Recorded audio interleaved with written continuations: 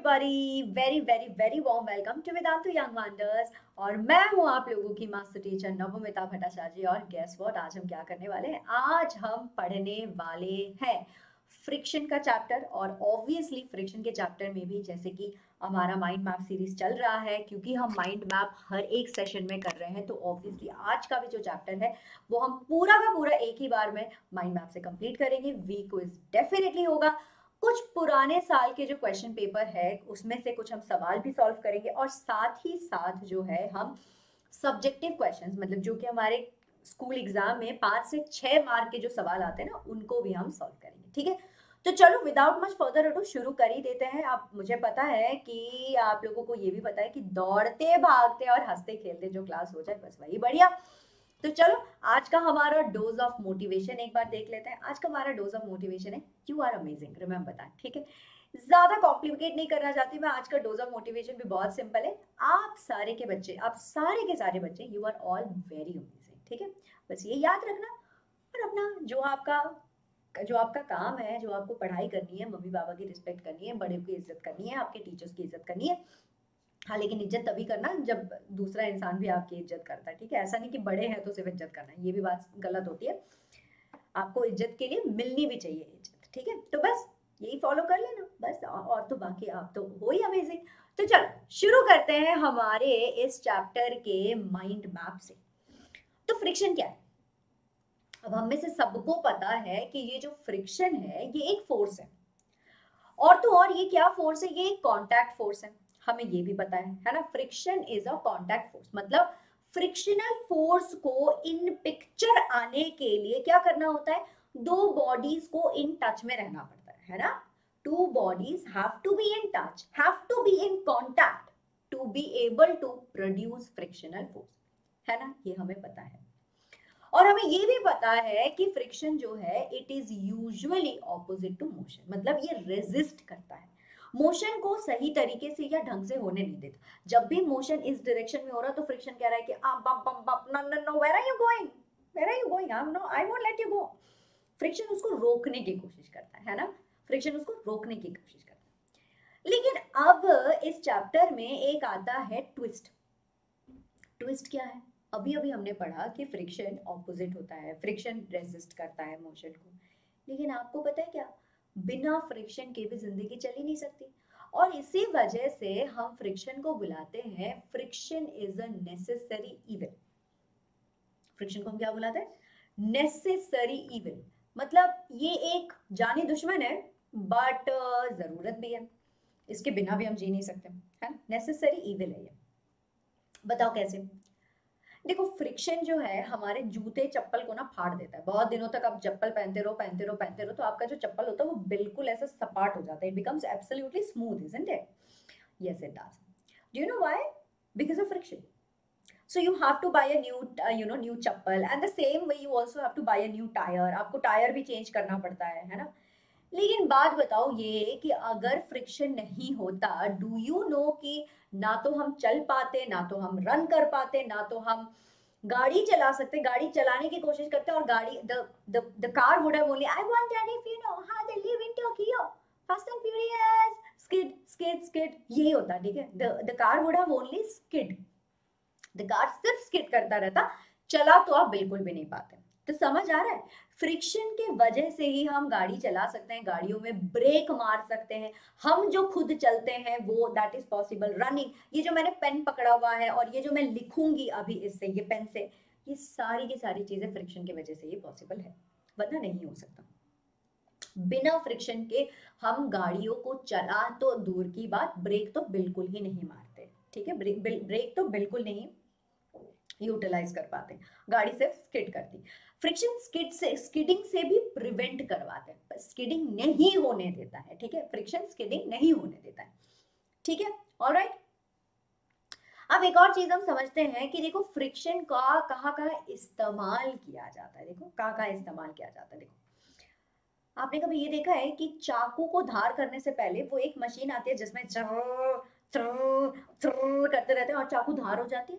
ये क्या है? ये जो आपने कांटेक्ट किया फ्रिक्शन ही था। वो फ्रिक्शन की वजह से आपकी चाकू धार हो गई। Yes drilling machine uses the concept of friction absolutely और तो और फ्रिक्शन पता है क्या करता है? आप ऐसे जरा हाथ को यूँ यूँ करो, गर्म हो जाता है आपका हाथ, पता है क्यों? क्योंकि इसका मतलब है कि जो फ्रिक्शनल फोर्स है बिकॉज़ ऑफ़ द रेजिस्टेंस है ना? ये मोशन को रेजिस्ट करता है मोशन को होने नहीं दे रहा। और इस वजह से क्या होता है कि हीट की प्रोडक्शन होती है। और जब हीट की प्रोडक्शन होती है तो ऑब्वियसली मतलब we are going to use it heat generate हो गया, है ना? हीट जनरेट हो गया। लेकिन कई बार क्या होता है कि इसी वजह से वेस्टेज ऑफ़ एनर्जी भी होता है। जैसे कि पुराने जमाने के जो बल्ब होते थे ना येलो वाले, उसमें क्या होता था? इलेक्ट्रॉन्स जब इलेक्ट्रॉन्स जब वायर में से गुजरते थे तो वो एक दूसरे से टकराते थे। और टकराते हुए फ्रिक्शन प्रोड्यूस होती थी, उससे बहुत ज़्यादा हीट प्रोड्यूस होता था। लेकिन यार बल्ब से तो हमें लाइट मिलनी चाहिए थी। हमने कब कहा कि यार बल्ब तू मेरे को हीट भी दे? हमें ऑमलेट थोड़ी बनाना था बल्ब में जाके। नहीं बनाना था हमें बल्ब में बल्ब के बत्ती के नीचे हमें पढ़ना था है ना? हमें ऑमलेट तो नहीं बनाना था। लेकिन क्योंकि ये बल्ब इतना हीट दे रही थी इसका मतलब है कि बहुत सारी एनर्जी जो थी वो वेस्ट हो गई। और इसीलिए हमने क्या किया? हमने सी बल्ब लेके आ गए ठीक है? अब एक बात बताओ जरा आपको क्या लगता है कि क्या फ्रिक्शन को हम बढ़ा सकते हैं या घटा सकते हैं? Oh, yes, हम फ्रिक्शन को जो है इंक्रीज भी कर सकते हैं और डिक्रीज भी कर सकते हैं, ठीक है? इंक्रीज और डिक्रीज हम दोनों कर सकते हैं। कैसे? अगर आप रफनेस बढ़ा दोगे, किसी एक सरफेस की अगर रफनेस को आप बढ़ा दोगे roughness increases friction also increases ठीक है? फ्रिक्शन ऑल्सो इंक्रीजेस और अगर आपने रफनेस घटा दी if you decrease the roughness then friction also decreases तो चलो, अब एक एक करके सारी चीज़ें पढ़ लेते हैं। वॉट इज़ फ्रिक्शन ये मीम जरा बड़ा, ये मीम बढ़िया लग रहा है कि नहीं लग रहा है? बता ये देखो, ये सुअर को देखो। कीचड़ में किस तरह फिसलते फिसलते जा रहा है और ये बैक कर रहा है कि यार फ्रिक्शन को रिमूव करो। तो चलो फ्रिक्शन का समझ लेते हैं फ्रिक्शन क्या चीज़ है।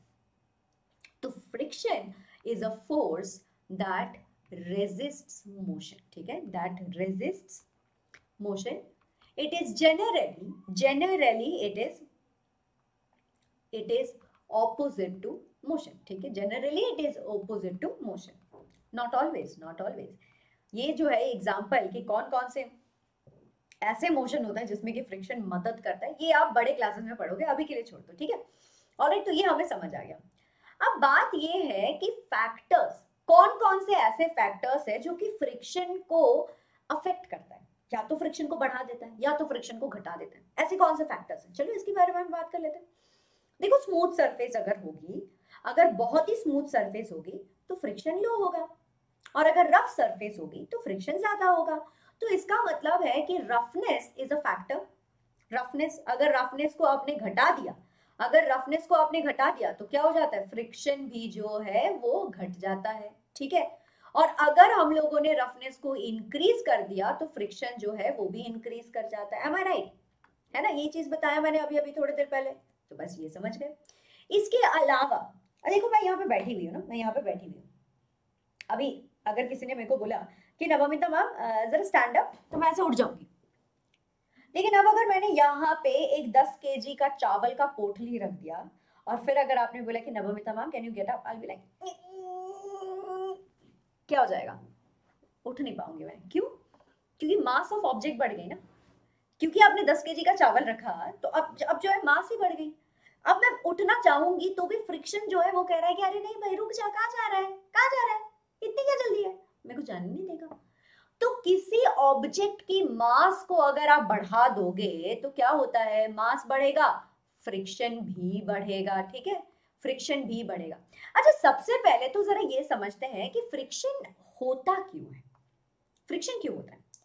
देखो, हमें ना ऐसा लगता है कि कोई भी चीज़ ले लो कि ये देखो ग्लास की बॉटल ले लेते हैं हम, ये ग्लास की बॉटल ले लेते हैं, हमें लग रहा है कि ये बड़ा स्मूथ है है ना? लेकिन इसको अगर हम माइक्रोस्कोपिक नज़रिए से देखेंगे तो हमें दिखेगा कि इसमें भी अनइवन सरफेस है। ऐसा नहीं है कि इट्स अ स्मूथ सरफेस है ना? तो ये जरा हम लिख लेते हैं no surface is completely smooth. No surface is completely smooth. है ना? अब क्या होता है? एवरी सरफेस हैज़ इरेगुलरिटीज है ना? Every surface has irregularities, correct? Every surface has irregularities. और ये जो इरेगुलरिटीज होती है ना, यही क्या करती है? एक दूसरे से इस तरह से मिल जाती है। ये एक दूसरे को ऐसे पकड़ लेती है। जब इस तरह से पकड़ लेती है तब ये जाने नहीं देते, एक दूसरे को छोड़ते नहीं है और इस वजह से फ्रिक्शन आती है।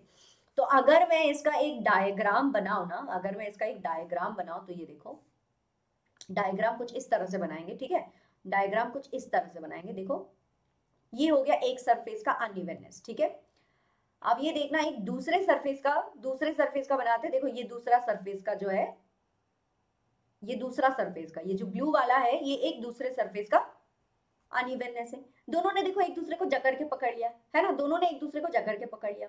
तो हम ये लिख सकते हैं कि the irregularities of a surface the irregularities of surface hold on to each other the irregularities of surfaces hold on to each other hold on to each other, giving rise to friction. Each other giving rise to friction, all right? It gives rise to friction. Am i right? You got it, ठीक है? समझ आ गया।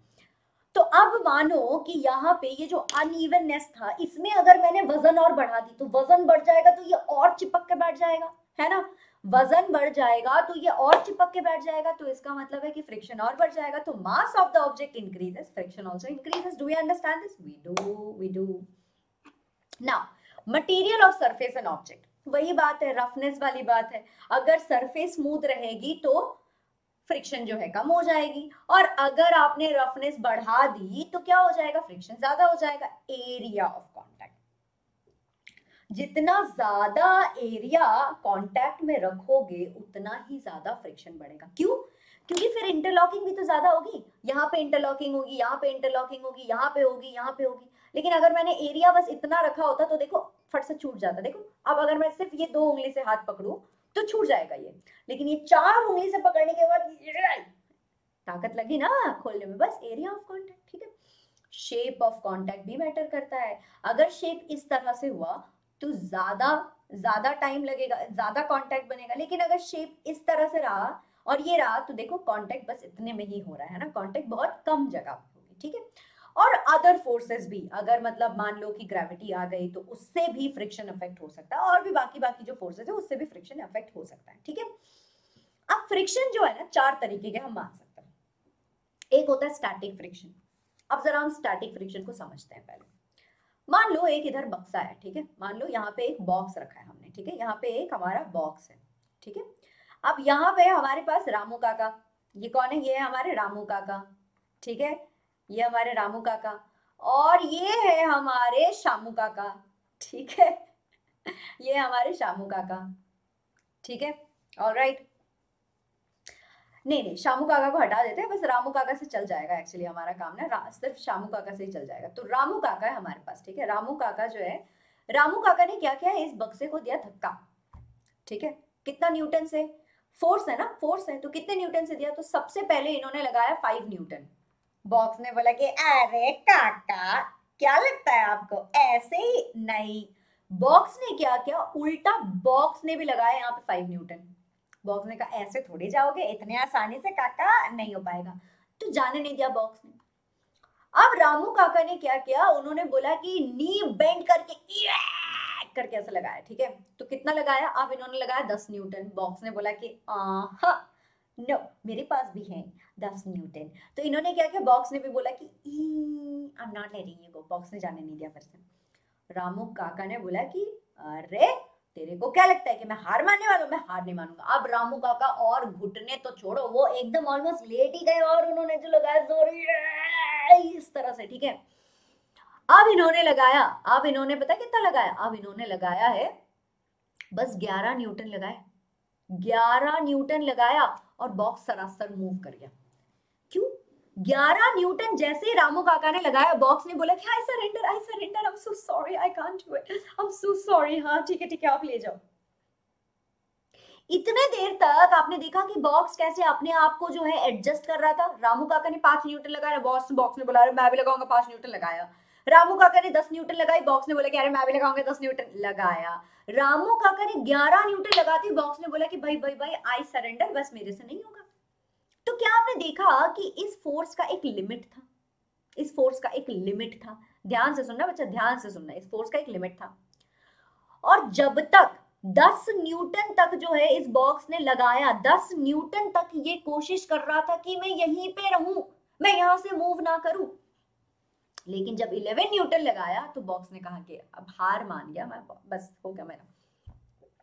तो ये जो 10 Newton तक जो box ने अपने आप को एडजस्ट करते करते जो फोर्स लगाया, इसी को कहते हैं स्टैटिक फ्रिक्शन तो अब जरा इसकी डेफिनेशन समझ लेते हैं कि स्टैटिक फ्रिक्शन इज़ बेसिकली देखो यहाँ पे मैं लिख देती हूँ, ठीक है? ध्यान से देखना बच्चा लोग, ठीक है? ध्यान से देखना इसको, क्या लिख रही हूँ मैं यहाँ पे?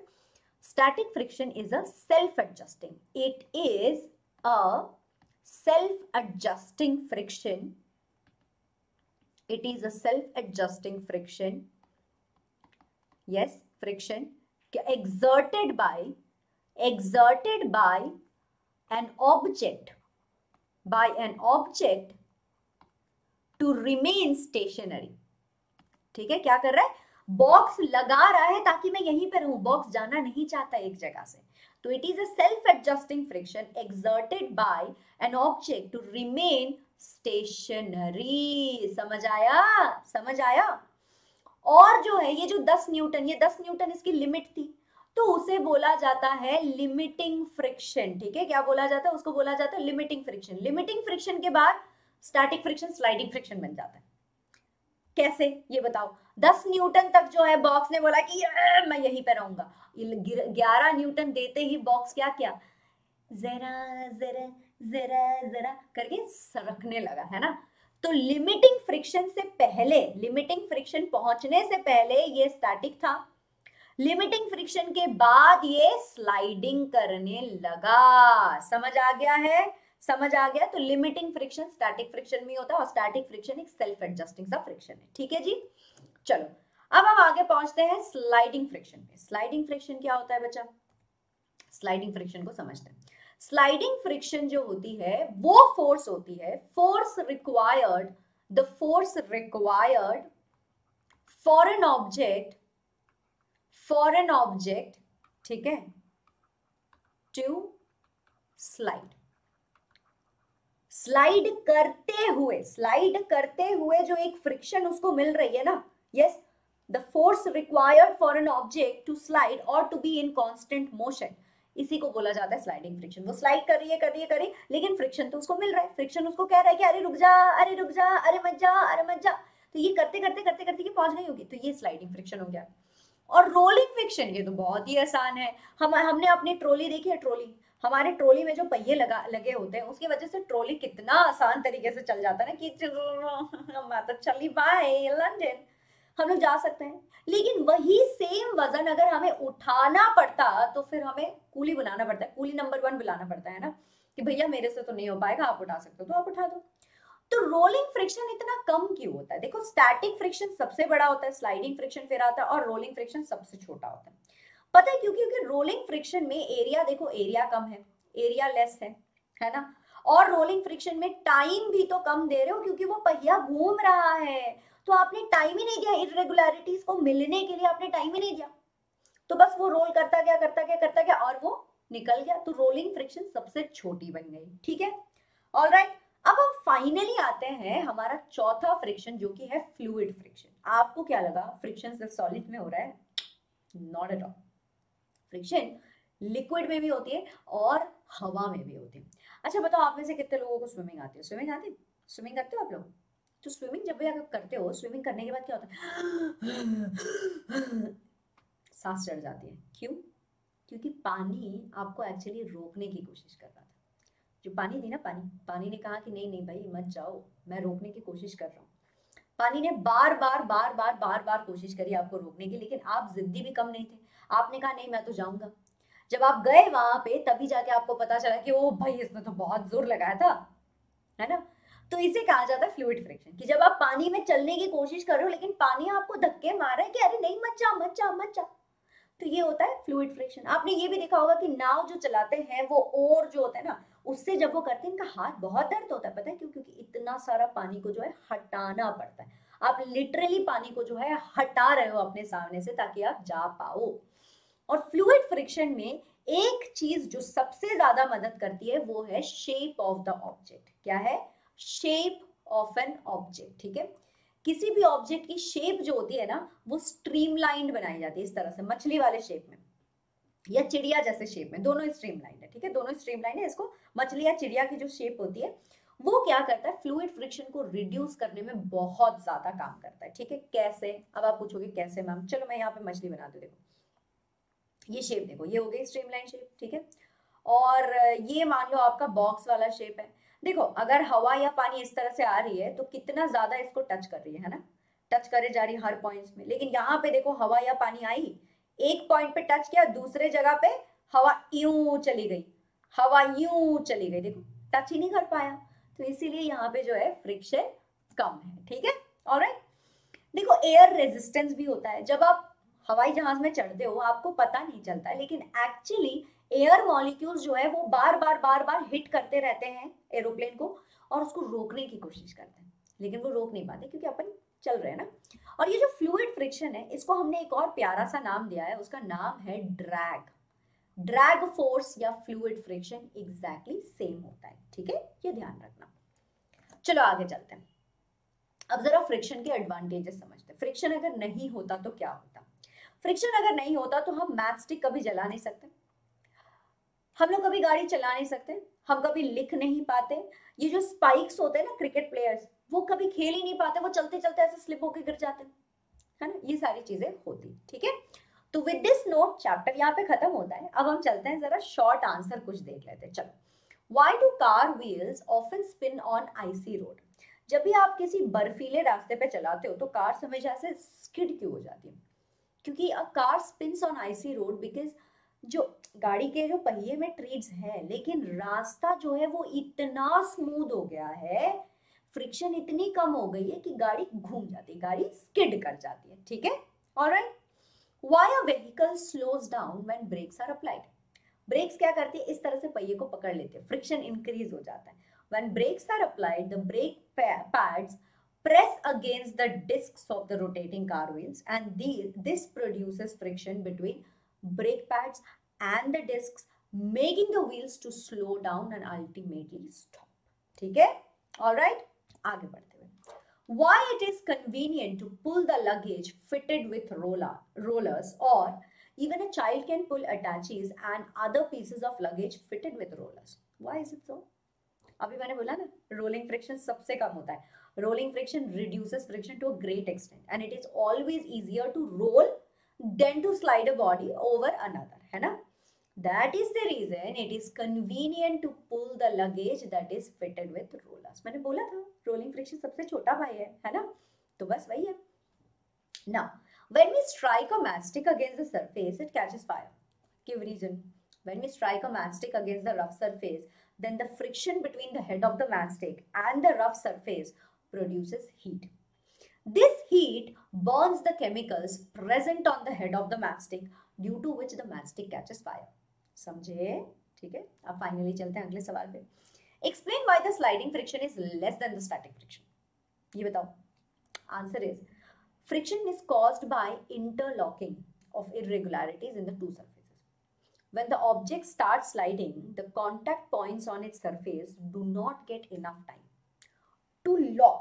इनको टाइम ही नहीं मिलता लॉक होने का ना क्योंकि इतनी जल्दी जल्दी वो मूव हो रही है।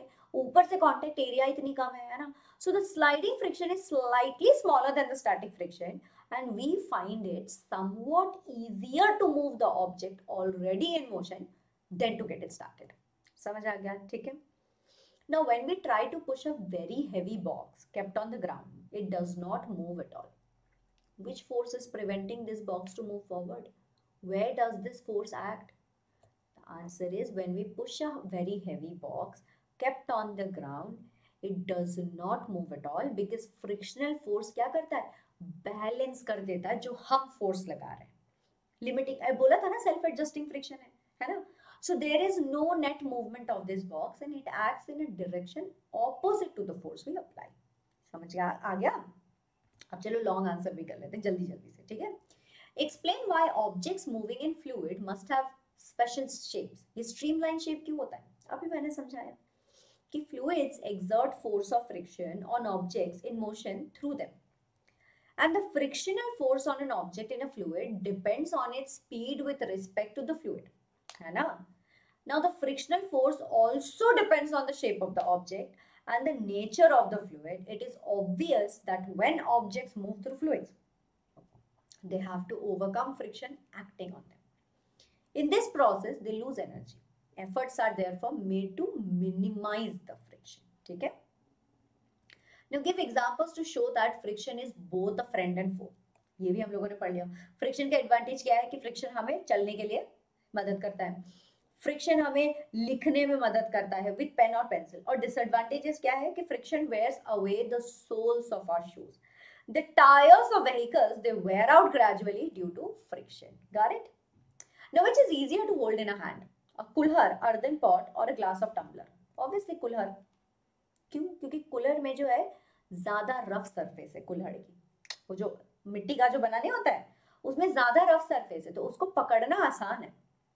लेकिन हमारा जो ये ग्लास होता है ये देखो काफ़ी स्मूथ है तो ये गिर सकता है फट करके है ना?